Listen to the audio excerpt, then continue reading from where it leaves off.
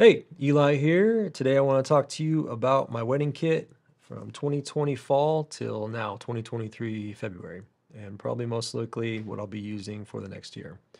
Um, yeah, I got a bunch of lenses. I got one body today. I got an R6 II on the way tomorrow, but uh, I want to talk about what I've been using, how it's worked for me, and then I'll get more in depth in some other videos talking about each of these items, uh, mainly lenses. Um, yeah, so just a summary from the last two years. I've shot with the R USR, uh, delivered 3,147 images with that camera. And then the R3, I delivered 28,425 images. R5, I delivered 26,550 images. And the R6, I delivered 83,778 images. Um, I've taken way more. Uh, probably over 400,000 images with the two R6s that I had. Those have both been sold um, due to higher shutter counts. They were great cameras, 20 megapixel, no problem with those. Uh, photographed weddings around the world, Mexico, Istanbul, and all over Oregon, uh, all over the states. Um, but yeah, they my clients have printed huge images with them, and they've turned out great. Um, but yeah, so just kind of jumping in here right now, I have the EOS R5 um, R6 II on the way, comes in tomorrow. Take that to Sedona this week. And uh, yeah. So, see how I like it. This is the uh, 28 to 70 f2. This lens is huge, but man, I, gosh, I've mainly used this uh, for all my images. Uh, just a quick number on that is I've delivered 70,667 images with this thing. Um, it's pretty much the go-to for everything. It's big, but uh, if you just need one lens to do it all, you're going to get some great bokeh. You're going to get amazing autofocus, amazing sharpness.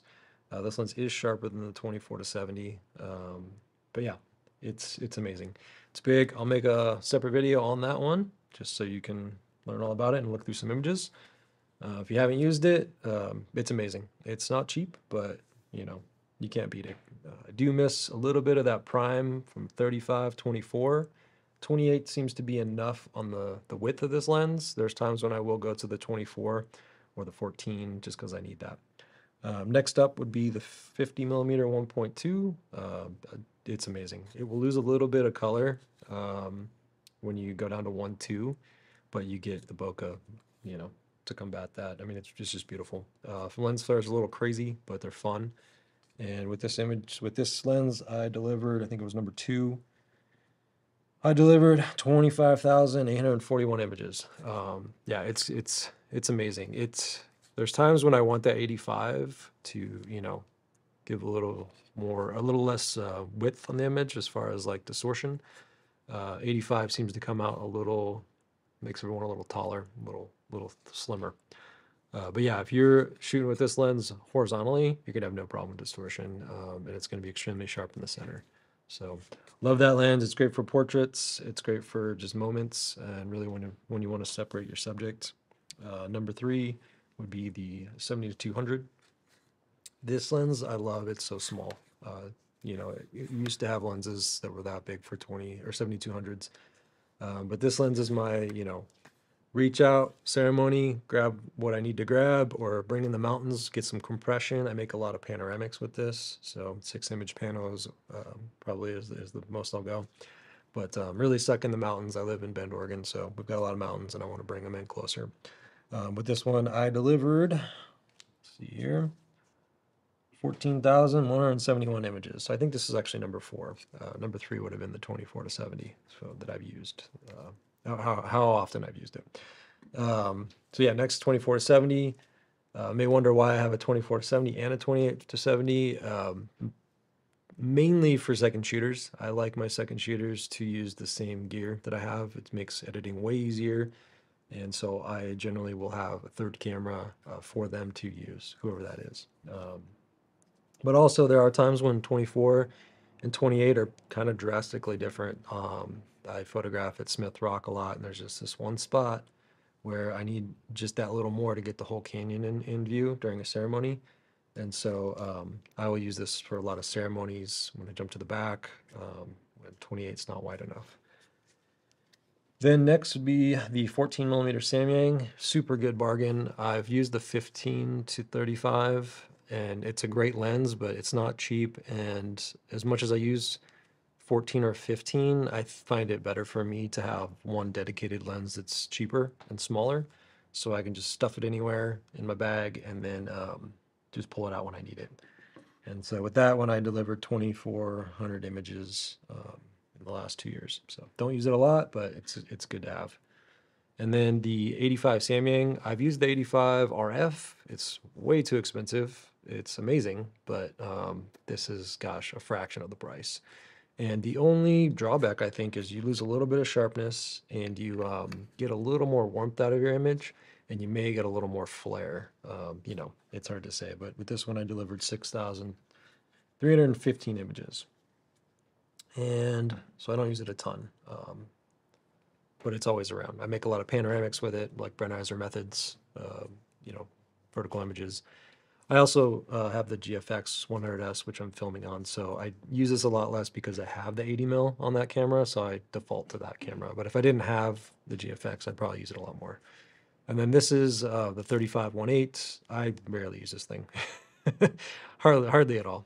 Um, that's another thing I just noticed I didn't talk about was these lenses have the um, little ring on there and you can customize it, but I rarely use it because the placement is always so different on each lens. Um, 7200 is on the back, uh, the other lens is on the front, but if you're using these lenses, you're going to find that it's um, they're all wider or different sizes. I do prefer aperture rings when they're all close to the body and they have a lot more uh, similar feel to them. Uh, Sony does a good job of that, but um, but yeah, so that's mainly about lenses and bodies. Um, I'll get into depth. I'll make a video, probably not about this lens, but I'll make one about each of these lenses. Um, and then other gear I use, I've got this uh, Flashpoint Godox Mix 1 2. This is the R2. And um, this thing, you just, you, you know, it keeps up with everything I need it to. When I'm at a reception, I will generally photograph at a 1000 ISO and then I just set this at the minimum. And I shot the R3 30 frames a second, and this thing didn't quit. Um, I've got the little dealio on there um, to diffuse light, and I generally set it probably right about there. But this thing's been awesome. I do have a, the smaller version. I think it's the 350. Uh, takes two double A's, but somehow I always leave it on and it's always dead. But it's a good second photographer. Um, flash. And then I use various different RGB lights. Um, I can't even remember the brand of this one. I'll put it in the description, but it doesn't really matter who you get it from. Um, but yeah, I will use these just for added light when I need it. And then I'll also set them to RGB and uh, let them fluctuate. So if I need to add a little bit of like party light, if they don't have like a DJ that's got lights, or if I just think it need, it adds to the scenario, I've got three of these. I'll put them around the reception and either point them at the wall or point them at the dance floor, and it gives a little bit of life to it. Uh, makes it a little more fun. And then again, I'll be photographing all dancing with a flash. And then when I'm out taking portraits, um, hopefully this is in frame, I've got the Godox uh, ML60Bi and then the ADS, the softbox that you can buy for it. And then it's got two Sony batteries, and then you know you can control your color temp, your power, and so it's a really good, just in the field, soft light that you, you can add in to a lot of situations um, that I find to be really helpful. I've got two of those, and then I've got a plug-in one that I'll use sometimes for like a, a flare light, just to kind of give a little bit of character to like a first dance or something. Anything slow, I'll use that on the dance floor, but mainly for portraits when I need it. And then Clever Supply Co. These straps are amazing. Um, I had previously had a couple sets of a different brand that were a lot squeakier. They got the metal things, uh, and so I had to buy third-party clips to just make it easier uh, for those brands. But for Clever Supply Co., they're using the uh, Peak design, and these things are awesome. Uh, they're way quieter, way lighter. Um, yeah, I think they're great. Um, I did add a Peak strap to the chest because I do find that um, they wanted to kind of separate in my chest. And so I just added a Peak Design uh, chest strap to it. So right there. And then for bags, I've always used Tenba. Uh, don't it just it seems to fit. One thing I love about Tenba is they've always got these wide pockets on the side, so I can fit, you know, pretty much any of my lenses in there, and that allows me to hold five lenses at once if I need to. Generally, I'll have four lenses in the bag, and then I'll have a body in the pocket in the front or in the middle, and then I'll have uh, my other camera on my strap, um, or I'll have them both on a strap. But generally, I try and use one camera as much as possible. And then I did the bring your own bag um, kit. I put it inside to beef up the bag because bags tend to tend to squish over time, and so that's allowed me to kind of like get a little more structure out of it. And then I'll you know put all my batteries and stuff in the front, and then the back I'll have a timeline generally two of them or three of them because I'll lose one, and then hand one off to my second shooter, and then I'll have um, just you know my cards in here. So speaking of cards, I use Sony Tough cards. They've been great. I'd like to try out the OWC ones uh, that just came out. And then I use Angelbird for my CF Express Type B cards. You can't really beat the price on them. So I think that's pretty much everything that I take to a wedding day.